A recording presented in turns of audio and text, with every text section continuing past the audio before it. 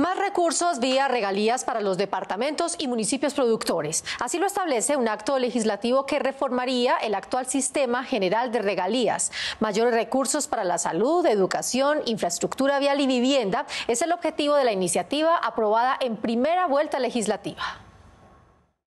La reforma a las regalías mantiene el 34% para la inversión territorial e incrementa hasta el 25% la destinación para departamentos y municipios productores de petróleo, gas, carbón y otros minerales. Se le va a permitir a las regiones productoras incrementar las asignaciones directas y nuevamente incentivar esa producción en sus territorios. Para la Federación de Departamentos, esta reforma a la distribución de las regalías permite que los territorios no productores de minerales e hidrocarburos tengan mayor participación. Se le da un tratamiento equitativo a las entidades territoriales productoras como a las entidades territoriales no productoras. Se le da equidad a municipios y departamentos que no habían tenido la posibilidad de acceder a presupuestos que ayudaran a desarrollar sus eh, entes territoriales con obras de importancia estratégica. La iniciativa mantiene el 9,5% de los recursos para ciencia y tecnología y 0,5% para Cor Magdalena.